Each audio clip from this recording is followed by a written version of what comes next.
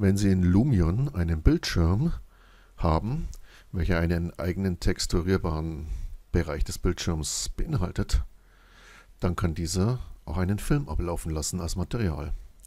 Hierfür wechseln Sie in das Materialienmenü, wählen die Bildschirmoberfläche aus. Im Materialmenü die Materialbibliothek per Doppelklick öffnen. Wählen Sie dann aus den neuen Materialien das Standardmaterial aus, denn dort können Texturen geladen werden. Und als Textur eignen sich auch MP4-Filme, welche nicht größer als 50 MB sind. Dann wählt man einen Film aus. Dieser wird dann auf dem Bildschirm, je nach Größenverhältnis, platziert. Den Texturmaßstab können Sie skalieren, je nachdem wie groß Sie es brauchen. In der Regel wird es 1 sein.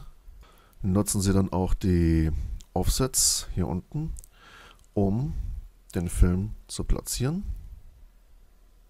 Mit gedrückter Umschalttaste kann das Ganze auch langsamer verschoben werden. Und wenn der Film platziert ist,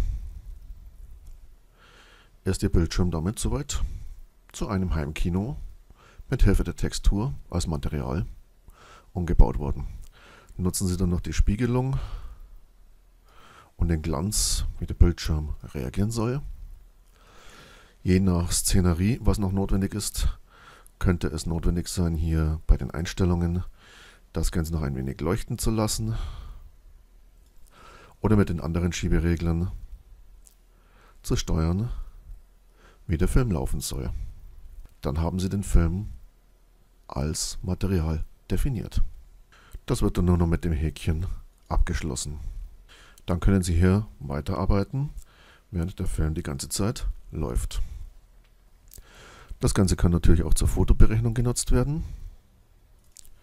Stellen Sie eine Perspektive samt Effekte ein, damit das gerendert wird. Wenn im Filmmodus Lumions ein Film aufgezeichnet wurde, sieht man, wie sich das auch hier auswirkt, wenn man den Film verfolgt. Stellen Sie dann noch die Effekte ein, welche für den Film und dessen Rendering notwendig sind.